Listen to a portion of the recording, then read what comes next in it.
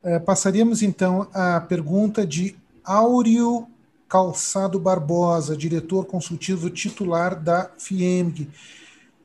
Ele faz a seguinte pergunta: A indústria brasileira considera como de grande importância a efetivação de um amplo acordo de reconhecimento mútuo que garanta a entrada de produtos brasileiros certificados por laboratórios brasileiros acreditados pelo Inmetro no mercado americano.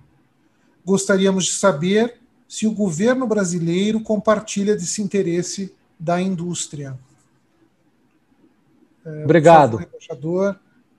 É, obrigado. Certamente temos interesse em ajudar a, a indústria nessa agenda.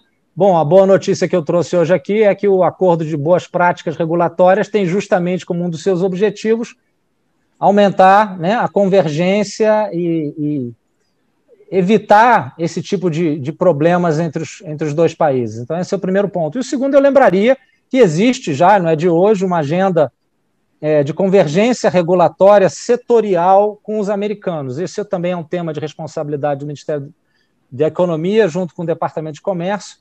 Então, é, eu não tenho os detalhes disso aqui hoje para comentar, mas eu tenho certeza que esse é um pleito que nós podemos certamente levar adiante com os americanos. É um pleito que os senhores trazendo, o, o Itamaraty, em conjunto com o Ministério é, da Economia, leva adiante com os americanos. Evidente, pode ser até que isso já esteja em cima da mesa, mas eu os detalhes agora, infelizmente, não tenho de cabeça. Obrigado.